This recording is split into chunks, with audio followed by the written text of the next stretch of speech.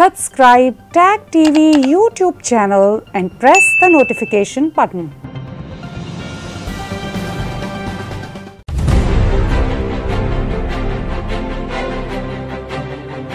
People have to live in, in unity. We are still in transition.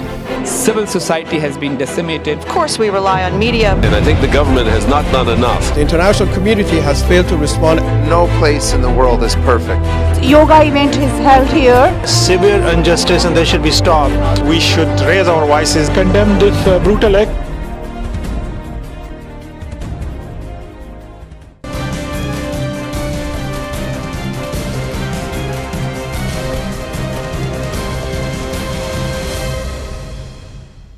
Hello viewers, welcome to Newsweek South Asia, a program that talks about breeding of terrorism and its impact on South Asian nations. Let's begin with the headlines first. FATF's APG group puts Pakistan into enhanced follow-up list. Violence plagues Afghanistan amid ongoing peace talks in Doha.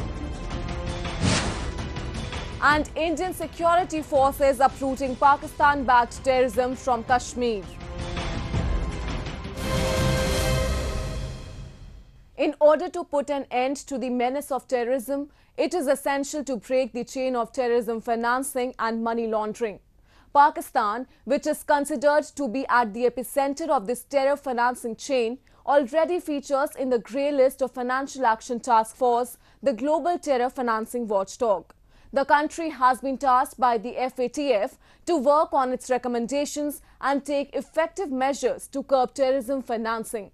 Pulling up Islamabad for its lethargic attitude towards these recommendations, the Asia Pacific group of the FATF has retained the country on its enhanced follow-up list. We bring you the details. All terrorist organizations use large amount of funds to carry out their dreaded terror activities. In South Asia, terrorist groups receive these financial aid from Pakistan. Pakistan's notorious spy agency ISI has a long history of involvement in supporting and promoting terrorism in the name of Pakistan's geostrategic interests. For this, the ISI, in association with the Pakistan military, provides financial, logistic, military, and direct combat support to the terrorist organizations operating across South Asia. Several global institutions and countries have repeatedly warned Pakistan from indulging into such activities, but till date, there has been no impact of these warnings on the terror breeding country. Financial Action Task Force, the intergovernmental body that sets international standards to prevent money laundering and terrorist financing, has been keeping a close watch on Pakistan's terror funding activities. In a major embarrassment to Islamabad, Asia Pacific Group or APG, a regional affiliate of the Financial Action Task Force, has retained the country on its enhanced follow-up list. A recently published report by the APG said that Pakistan will remain in enhanced expedited follow-up and will have to continue to report back to the APG on progress to strengthen its implementation of AML CFT measures. terror financing is basically the fuel to continue with the terrorism.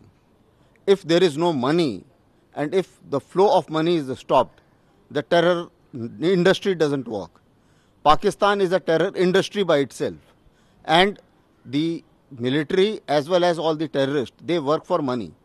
They are not working for any other cause. This uh, enhanced list is basically uh, because Pakistan would have taken up a case that we have we are compliant on some of the issues which uh, FATF had given. They had given them 40 issues, they had complied only on 9. The 14 page follow up report from the Asia Pacific Group noted that Pakistan's progress on the 40 FATF recommendations largely remained unchanged, with the country being non compliant on 4 counts, partially compliant on 25 counts, and largely compliant on 9 recommendations. While Pakistan published a national risk assessment on money laundering and terrorism financing in 2017, the mutual evaluation report identified gaps in the process of developing and identifying threats, vulnerabilities, and risk. The assessment of terrorist financing risk was identified as perfunctory only, said the APG report. In 2018, the American government had cut down $300 million in military aid to Pakistan, increasing pressure on the country to crack down on terrorist groups. It was expected that after this jolt, Pakistan will certainly change its favorable attitude towards terrorism, but the attacks like the ones in Pulwama in 2019 and in Kabul's Gurdwara this year once again brought out the country's demonic reality. Experts suggest that neither an ultimatum nor any cut down on financial aid is going to stop Pakistan from indulging into terrorist activities. There is no incentive for them uh, to perform better as far as terror is concerned. They have used terrorism to their advantage. They have extracted money out of Americans earlier. Now they are extracting money out of Chinese. They have used this potential earlier. They will continue to use this potential. Even against India, they cannot fight a conventional war. So they are very clear on that issue that this is the only war which they can fight. This is the only thing which they have learned, and this is the only thing which their army can perform. Ahead of every plenary meeting of the FATF, Pakistani administration ensures to hoodwink the world by taking some pseudo anti-terrorism steps. Lashkar-e-Taiba leader Hafiz Saeed was also put behind bars on 17 July ahead of a critical plenary meeting of FATF in October 2019 as an eyewash to escape the blacklisting by the FATF. But what they are going to actually do it is that near FATF, when uh, the dates are closing in, uh, they will put some terrorist in jail and then take out later. They will change the names of some terror organizations so that they can be funded differently. And uh, they will do such tricks to avoid uh, the sword of uh, FATF hanging on their head. The APG's report came ahead of the virtual FATF plenary scheduled for October 21 to 23, during which it would be decided if Pakistan should be excluded from its grey list. The decision will be based on a review of Islamabad's performance to meet global commitments and standards on fight against money laundering and terror financing. FATF had placed Pakistan on its grey list in June 2018 and had asked Islamabad to implement a plan of action to curb money laundering and terror financing by the end of 2019 but the deadline was extended later on due to COVID-19 pandemic. Amidst growing confusion and uncertainties over the procedural rules of intra-Afghan talks, the extremist group has continued the bloodshed on Afghan forces and civilians, prompting the United States to launch airstrikes to defend Afghan forces. Meanwhile, the U.S. Special Envoy to Afghanistan, Zalmay Khalilzad, informed about striking an agreement with the insurgent Taliban to reset their commitments and reduce the number of casualties in the country. However, Taliban's actions on the battlefield are again raising questions about their commitment to the negotiating table. A report. The war-ravaged Afghanistan continues to remain tense following the constant clashes between the Taliban, the Afghan government and the NATO forces. Fierce battle broke out in recent days after the Taliban attacked several security checkpoints in the southern Helmand province with an aim to capture the provincial capital of Lashkar Gah, the second largest city in the southern region of Afghanistan. However, Afghan security forces launched a counter-offensive against Taliban fighters and claimed to kill at least 170 Taliban insurgents as fighting raged for more than five days. The US forces also conducted several targeted airstrikes to support the Afghan security forces amid heavy violence by the insurgent group. Earlier this week, the head of NATO forces in Afghanistan, US General Scott Miller, condemned the Taliban for undermining the peace talks and violating the agreement they signed with the US in February this year this peace process has possibly been one of the most farcical developments that we have ever seen. At the time when these two parties are talking peace, the Taliban is launching strikes in the urban areas and these are targeted strikes at civilians and that to ethnic minorities. See, the fact remains the Taliban has never been negotiating in good faith and this is known to everybody. Unfortunately, the United States has basically seen this as the way out for their forces to get out of Afghanistan. The latest fighting is the first big Taliban offensive since the intra-Afghan peace talks between the Afghan government and the Taliban opened in September. This major assault by the Taliban is testing the resolve of the Afghan government and is casting doubts over the peace talks. The violence could also throw into question US President Donald Trump's pledge last week to bring home the remaining US troops by Christmas, which was welcomed by the Taliban. However, Afghanistan's top peace official, Dr. Abdullah Abdullah, has expressed concerns over the premature withdrawal of US troops from the country, saying that it can leave a power vacuum and an adverse impact on the security situation. Before uh, establishment of peace or, or, progress in the negotiations, if uh, a premature withdrawal takes place, uh, there is no doubt that it will leave some vacuum behind, and that will have some impact on the security situation. But that will not uh, mean one side prevailing over, over the other. That will, that will not happen. Uh, and hopefully, both sides, uh, the side that I'm uh, representing as the chair of the council and the Taliban, the, we have uh, realized that there is no solution through war. The ongoing peace talks have certainly created a sense of optimism about ending this war but the continuous surge of bloodshed by the Taliban is suggestive of its unchanged stance and strategy. The current conflict has forced tens of thousands of people in southern Afghanistan to flee their homes as violence continues to soar. Afghan Ministry of Interior told that the Taliban initiated 575 attacks, including 92 mine blasts and suicide attacks against civilians and security forces in the past two weeks and 251 civilians were killed and wounded. The Taliban actually does not care.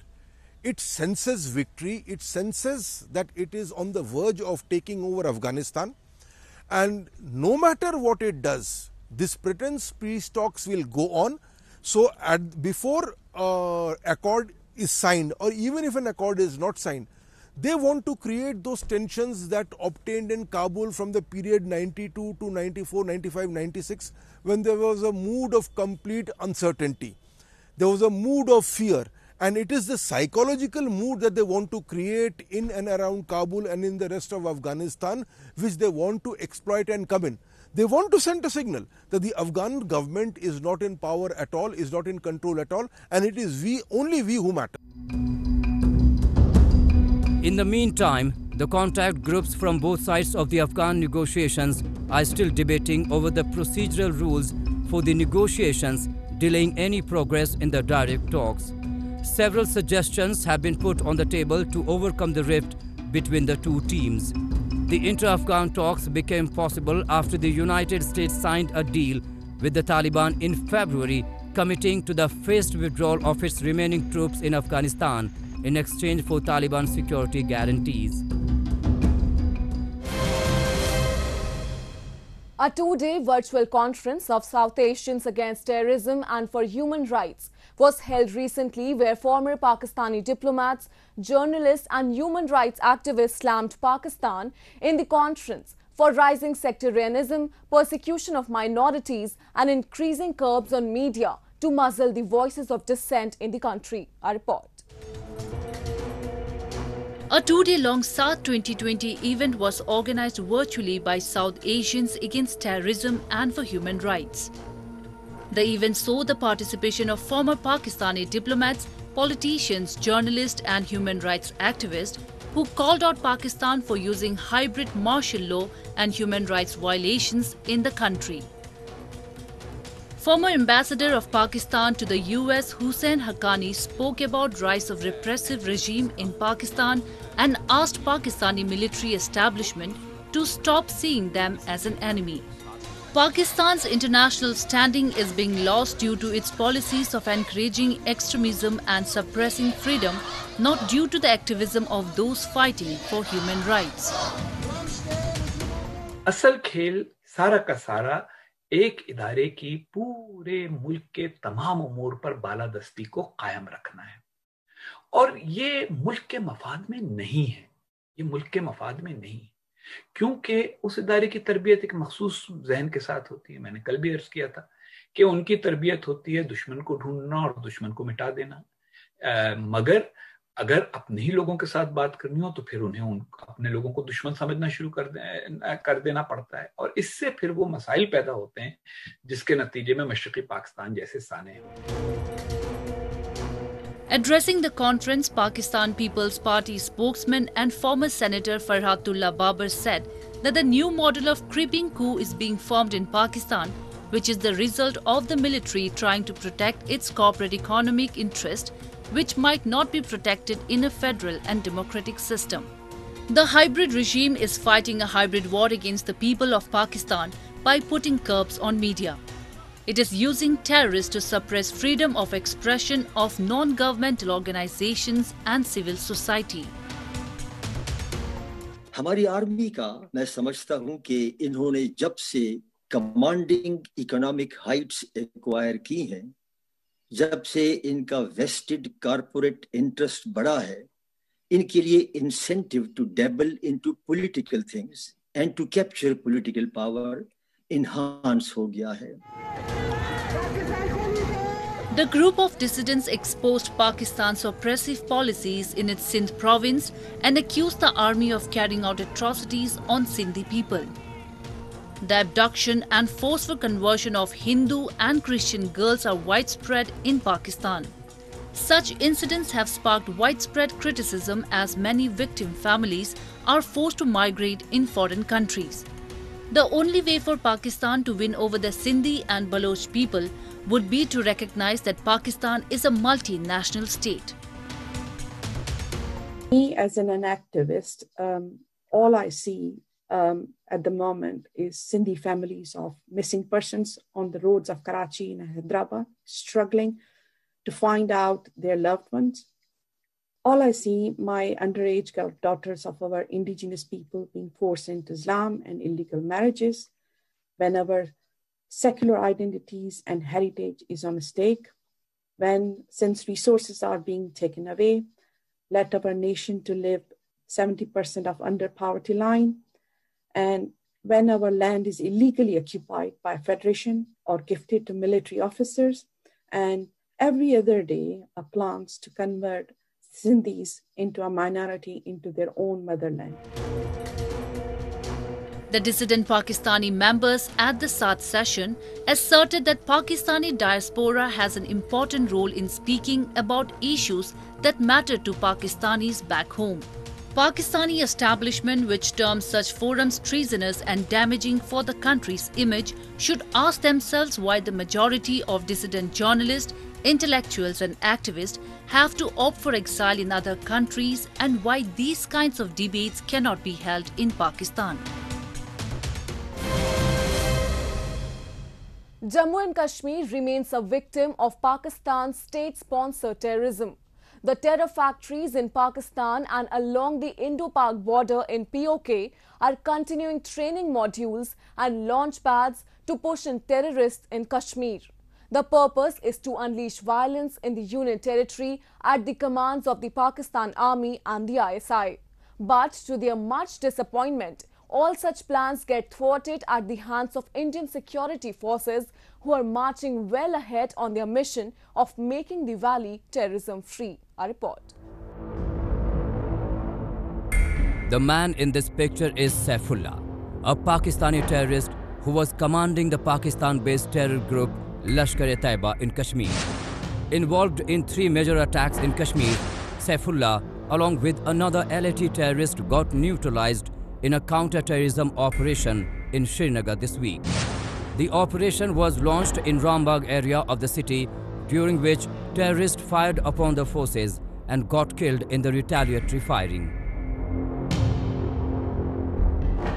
Today's के operation का खास बात यह लश्कर का top commander Saifullah, जो पाकिस्तान का रहने वाला है, वो मारा गया है और सैफुल्ला जो, ये पिछले एक के बाद एक तीन मेजर अटैक्स में शामिल था Jammu and Kashmir has faced decades-long violence perpetrated by Pakistan. To maintain peace and development, the government of India has given a free hand to its security forces to eliminate terrorists operating in the Union territory. In this, the people in Kashmir Valley are also helping the Indian security forces to crack down on terror hideouts and this has helped in executing a large number of counter-terrorism operations carried out by the Indian security forces in the recent past. Terrorism in the Kashmir Valley is waning, it is going down. And now, after the revocation of Article 370, uh, even swifter change has come into, in the Kashmir Valley. The terrorists are not finding the place to carry out their operations as they were earlier uh, able to do. Most importantly, the political support which they were getting is not there. Secondly, the uh, because the police was controlled by the political department, by the political heads, uh, regardless of the political party, uh, the terrorists were able to get away. Now the situation has changed. There is no place left for them to hide, and in my view, the, one of the most important factors which has come in is that the people of Kashmir are saying no to terrorism. Pakistan is not only instigating violence in the Kashmir Valley, but is continuously violating ceasefire at the line of control. The aim is to help terrorists easily infiltrate into Indian territory and also damage villages along the border. In Poonch district of Jammu and Kashmir, a 40-year-old woman was injured during a cross-border firing by Pakistan this week. Residents settled near the border areas are living in constant fear due to frequent firing along the border from Pakistani side. In the current dynamics, in the same time, there was an attempt by the Pakistani side uh, to send weapons in the Keran sector, which were intercepted. Uh, it's a huge cache of uh, weapons which were recovered. And uh, even at the ceasefire violation, more than 3,000 ceasefire violations have been done. Each violation of the ceasefire is actually associated with the attempt of uh, infiltration by Pakistan army and the terrorists. India has been constantly taking up the issue of Pakistan-aided violence and terrorism at various global forums. In a recently held virtual meeting of the Commonwealth Foreign Ministers, New Delhi not only condemned Islamabad's state-sponsored terrorism but also slammed it for masquerading as an alleged victim of the menace. Without directly naming Pakistan, India referred to the neighboring country's dubious distinction of becoming synonymous with the phrase epicenter of terrorism and hosting the largest number of terrorists proscribed by the United Nations. Despite all the embarrassment and name-calling at various global forums, Pakistan continues to use terrorism as an instrument of its state policy.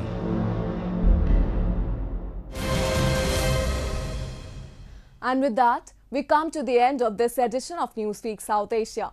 We will be back next week with more news, views and analysis from the subcontinent. Meanwhile, do keep writing to us at nwsa at nin.com. This is Shreya Vijay signing off on the behalf of entire production team of Newsweek South Asia. Goodbye and take care.